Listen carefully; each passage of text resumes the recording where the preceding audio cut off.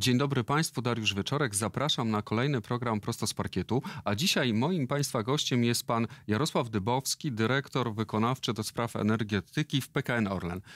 Dzień dobry Państwu. Dzień dobry Panie Dyrektorze. Chciałbym porozmawiać o projektach energetycznych Grupy Orlen. E, panie Dyrektorze, Orlen był sprawcą jednej z największych niespodzianek na rynku kapitałowym w ubiegłym roku. Ogłosił wezwanie na akcję e, firmy Energa. Po co wam Energa?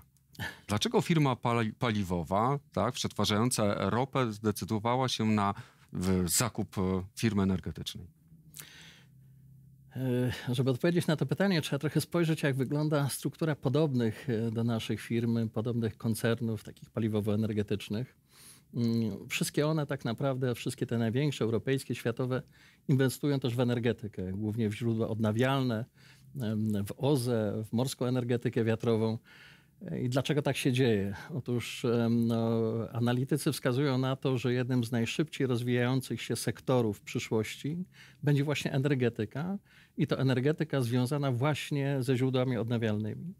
W związku z tym PKN Orlen postanowił, podobnie jak wszystkie tego typu firmy europejskie, światowe, też zainwestować w energetykę i też właśnie w energetykę odnawialną. Jest to pewnego rodzaju dywersyfikacja działalności. Mm, inwestujemy w mm, elektromobilność, a więc y, nie opieramy już się tylko na paliwach klasycznych, patrzymy na energię elektryczną, na wodór, no i stąd ten kierunek energetyka też. Mhm.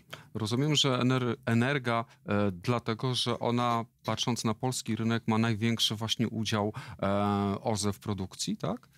Jeżeli popatrzymy na polskie firmy e, energetyczne, bo no zanim zdecydowaliśmy się na energię, no rozglądaliśmy się, robiliśmy analizy rynku, jak to wygląda, to najbardziej, można powiedzieć, kompatybilną do tego, co my robimy, do naszej działalności energetycznej, e, jest właśnie energia.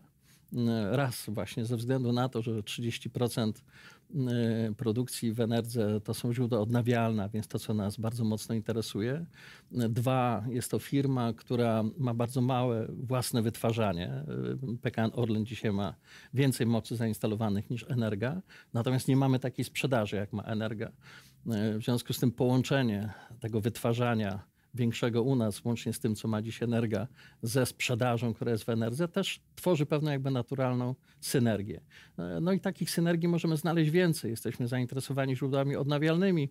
Energa inwestuje już bardzo dużo w źródła odnawialne, w wiatraki, fotowoltaikę, w magazyny energii.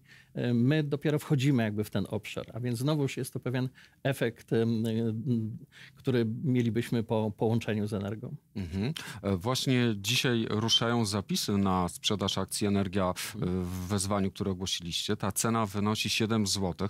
Panie dyrektorze, rynek, e, inwestorzy chyba liczyli na więcej, cały czas liczą, ponieważ ta cena akcji na giełdzie jest powyżej 7 zł. W takim szczytowym momencie to było prawie 10% więcej, prawie 7 e, zł i 70 groszy.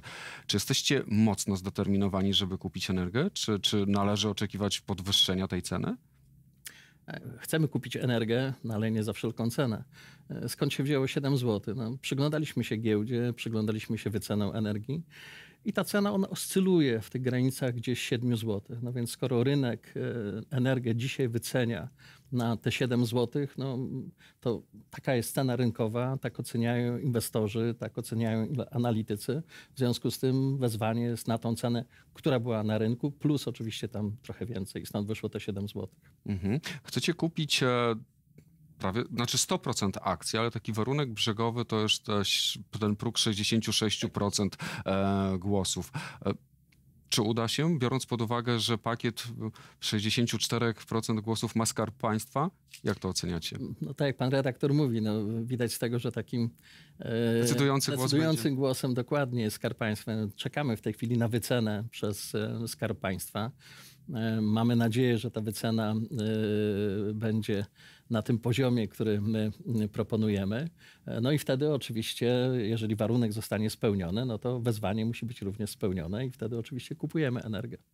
Inwestycja w energię to również no, pewne ryzyko, jak z każdą inwestycją ryzyko jest związane. Energia jest no, partnerem, czy realizuje inwestycje Ostrołęka C, to jest blok e, węglowy. Jaki jest wasz stosunek do właśnie budowy źródeł opalanych węglem? Co będzie z tym projektem, elektrownią Ostrołęka C, jeżeli przejmiecie kontrolę nad energią?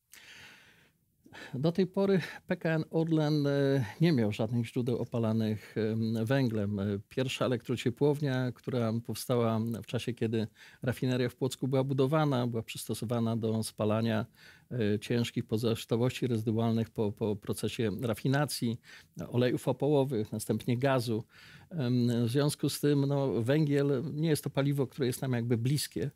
Natomiast y, jeżeli mówimy o Ostrołęce, to wydaje mi się, że trzeba by troszeczkę to, to, tą dyskusję odczarować. Wszyscy mówią o Ostrołęce, zastanawiają się węgiel, gaz, co zrobi PKN Orlen. Ja mówię, proszę Państwa, jeżeli byśmy tak spojrzeli zupełnie trzeźwo na sytuację, no, jakakolwiek firma kupująca inną firmę, w której jest inwestycja w toku, a to jest taka inwestycja, no oczywiście musi dokonać jej przeglądu.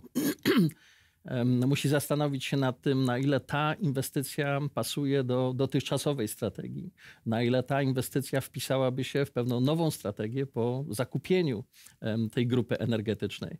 No i staramy się troszeczkę oddzielić te emocje, które są e, dookoła tego projektu, e, z tym takim trzeźwym spojrzeniem właśnie inwestora, patrzącym na to w taki sposób, że kupujemy grupę energetyczną, w której jest, to nie jest ta jedna, tam jest kilka inwestycji w toku mhm. i wszystkim tym inwestycjom się przyglądamy i patrzymy, czy rzeczywiście dalsza jej realizacja wpisze się w naszą strategię, nie wpisze. Jeżeli nie, to co ewentualnie można by było zrobić, jakie podjąć kroki. I tak naprawdę no, w ten sposób trzeba na Ostrołękę patrzeć. Mhm. A czy możliwość, jest jeszcze taka możliwość, żeby zmienić to paliwo? Bo ta inwestycja, tak jak pan powiedział, jest w toku, ona trwa już chyba z rok, e, czy nie wiem, zmiana z węgla na gaz wchodzi w grę? To jest pytanie, na które nie mogę w tej chwili odpowiedzieć. Jesteśmy w trakcie due diligence. Mm, otrzymujemy dostęp do różnych danych, materiałów. Zanim zrobiliśmy wezwanie na energię, podjęliśmy tę decyzję bazując na informacjach ogólnodostępnych na rynku. Oczywiście nie mieliśmy takiego dostępu do, do, mhm. do danych dotyczących projektu i jesteśmy w tej, w tej chwili w trakcie oceny. Przyglądamy się temu, patrzymy oczywiście, jakie są koszty. No, zawsze patrzymy na jakieś możliwości alternatywne i to jest po prostu to. Natomiast dzisiaj za wcześnie jeszcze, żeby cokolwiek e, dalej, co, cokolwiek więcej mógłby na ten temat powiedzieć. Mhm. Bo Energa jest również e, właścicielem, sporym właścicielem dużego pakietu pakietu akcji Polskiej Grupy Górniczej. Ja rozumiem, że tutaj też będzie jakiś przegląd tego aktywa, tak? Czy... Y, Energa jest właścicielem, z tego co pamiętam, 20% PGG. Y, no mogę też powiedzieć, że y, analitycy postrzegają zakup energii właśnie tych 20% Polskiej Grupy Górniczej jako pewne ryzyko.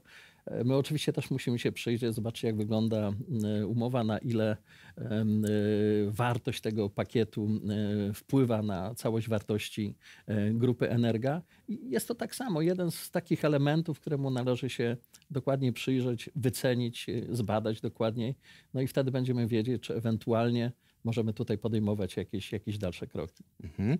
Inwestycja w, w energię, jeżeli w ogóle wezwanie by się zakończyło pełnym sukcesem, to przy tej cenie to jest wydatek rzędu 3 miliardów złotych. Ale wy, jeżeli chodzi o projekty energetyczne, macie w planach zupełnie, nie wiem, trzy, prawie trzykrotnie większą inwestycję. Mowa o farmach, e, farmie wiatrowej na Bałtyku. Na jakim etapie jest ten projekt, panie dyrektorze? E, muszę powiedzieć, że bardzo, e, bardzo dynamicznie prowadzone są prace przygotowawcze do tego projektu. Mianowicie, tak naprawdę zaczęliśmy pracę w maju ubiegłego roku. E, podjęliśmy prace związane z pomiarami wieczności, e, prace związane z analizą środowiskową projektu.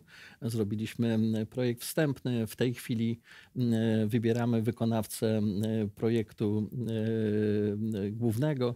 Yy, wybieramy też inwestora. No, zdajemy sobie sprawę z tego, że jest to na tyle nowy projekt, że bez tego wsparcia firmy, która zrobiła już kilka takich projektów, która zna się na tym, no pewnie też byśmy zrobili, ale pewnie wiele dłużej o wiele drożej. W związku z tym poszukujemy inwestora. Jest to bardzo zaawansowany projekt. Trzymamy się harmonogramu. E, no i mam nadzieję, że dalej ten harmonogram będziemy dotrzymywać i po roku 2023 rozpoczniemy już inwestycje. Mhm. To jest koncesja, panie dyrektorze, na 1200 megawatów. Jaki jest koszt? Biorąc pod uwagę obecne, powiedzmy, no, techniczne rozwiązania, tak? Pewnie to też zależy od tego, jak duże turbiny tam będziecie instalować. Czy to jest rzeczywiście 12, powiedzmy 13 miliardów złotych? Dzisiaj dokładnie tak to szacujemy. E, moglibyśmy się podjąć jakichś troszeczkę e, już e, bardziej szczegółowych szacunków, ale jest to troszeczkę też przedwcześnie. Wiemy, że nakłady inwestycyjne związane z technologią, one oczywiście idą w dół. Wiemy, że nowe technologie to są coraz większe moce. Już nikt nie stawia 6-8 megawatowych turbin, tylko mówimy o 12, 10, 15 nawet się pojawia. Mm, y, powoduje to to, że na tym swoim obszarze zbudujemy oczywiście mniej wiatraków, tą samą moc, ale mniej, y, mniej wież pod wiatraki. W związku z tym zaoszczędzimy na pewno na inwestycji, ale w tej chwili trudno by było było dokonywać jeszcze drugiej oceny, dopóki nie wiemy, ile tej mocy tak naprawdę e, na tej farmie będzie zainstalowanej. 1200 e, MW to jest wartość maksymalna, ale oczywiście w zależności od geologii dna, od tego, czy znajdziemy tam jakieś wraki, niewypały. No, mogę Państwu mhm. powiedzieć, że na przykład znaleźliśmy torpedę tak, z okresu II wojny światowej. Jest tam też kilka wraków, ale nie historycznych, takich trochę mm. młodszych. E, w związku z tym no, musimy je ominąć, te obszary zostawić na dnie, nie możemy tam stawiać żadnych wież. Jest również plan zagospodarowania polskich obszarów morskich, który no, też może znacząco wpłynąć na obszar i rozmieszczenie wiatraków. Więc dzisiaj już wiemy, że ta moc będzie mniejsza, ale jaka będzie, nie wiemy i jakie dokładnie to będą też e, wieże, jakie technologie, też tego nie wiemy. Jak już tylko będziemy mieli pewne wstępne szacunki, to oczywiście dokonamy drugiej e, oceny e, nakładów inwestycyjnych. A, mm, a gdzie szukacie inwestora, panie dyrektorze? Czy to, to jest, rozumiem, taki partner, który, który już uczestniczył w budowie takich farm wiatrowych. Rozumiem, że kogoś takiego poszukujecie, tak? Żeby know-how zdobyć? Poszukujemy kogoś, kto ma wiedzę, kto wybudował już takie farmy, kto buduje takie farmy, ale też głównie w obszarze Morza Bałtyckiego, ewentualnie Morza Północnego. E, to jest pewna specyfika. No, nie chcemy inwestora, który ma doświadczenie na przykład w budowie farm gdzieś tam u brzegów azjatyckich albo amerykańskich. E, Europa ma pewne swoje własne regulacje, rządzi się własnymi pewnymi prawami. Chodzi o to, żeby ten inwestor miał doświadczenie, żeby znał rynek. Dla PKN Orlen jest to zupełnie nowy obszar, na przykład sprawa wynajmowania specjalistycznych bardzo statków, które e, budują, które e, budują fundamenty, które hmm. budują nadal wieże. To jest pewien, pewnie zamknięty obszar, pewien zamknięty biznes, w który trzeba wejść, trzeba go zrozumieć po to, żeby zrobić tą inwestycję optymalnie. Hmm.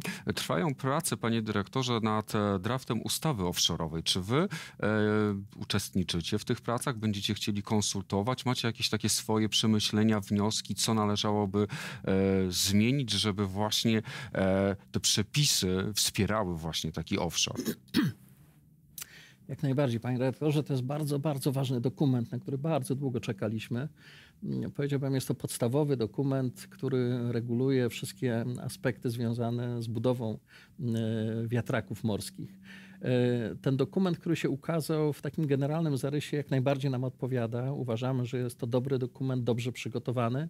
E, oczywiście mamy e, kilka uwag, nie są to jakieś uwagi zasadnicze, natomiast to, na co na pewno będziemy zwracać uwagę, to to, że no, hydrotechnikę na morzu, prace hydrotechniczne na morzu no, muszą być trochę inaczej traktowane niż prace hydrotechniczne na lądzie. Jest to zupełnie inna specyfika. No i w związku z tym będziemy mieli kilka jakby uwag do tego dokumentu. Natomiast y, z takich najważniejszych rzeczy, y, pierwsza faza, w której będzie te 4600 MW, to jest dla nas bardzo ważne, która będzie fazą pozaaukcyjną. Bardzo ważne jest to, że skrócono czas uzyskiwania, czas na decyzje administracyjne do 90 dni dla tego projektu. To jest bardzo, bardzo ważny krok do przodu. Bardzo pomoże to nam w zbudowaniu optymalnego harmonogramu. No i jeszcze sporo regulacji, z którymi w 100% się zgadzamy. E, natomiast no, oczywiście zawsze jakieś uwagi są i te uwagi przekażemy. Mhm. A jeśli chodzi o elektrownię fotowoltaiczną, jeżeli uda Wam się przejąć energię, to Energa ma takie farmy. Czy Wy jako Orlen sami planujecie też wybudować taką elektrownię? Mamy plany budowy elektrowni fotowoltaicznej na terenie naszego zakładu we Włocławku. Jest to teren nasz własny, ogrodzony, własna stacja, więc to można powiedzieć mm. optymalna. Podeszliśmy do tego w ten sposób, że poszukiwaliśmy tak naprawdę najpierw pewnych przełomowych technologii. Chcieliśmy to połączyć z poszukiwaniem pewnych innowacji w fotowoltaice, więc najpierw zrobiliśmy tak zwany proces RFI, czyli tak naprawdę to nie był jeszcze przetarg, tylko poprosiliśmy inwestorów o przekazanie informacji na temat tego, jakie nowe technologie mogłyby tam być. No, no powiem szczerze, trochę zawiedliśmy się na tym, oczekiwaliśmy troszeczkę innego odzewu i właśnie pewnych nowszych technologii. E, no okazuje się, że większość inwestorów bazuje na jednak na już tych sprawdzonych. Trzeba jeszcze chwilę zaczekać. Jeszcze tak, chwilę trzeba zaczekać, ale podeszliśmy w tej chwili już do normalnego przetargu, robimy taki typowy przetarg.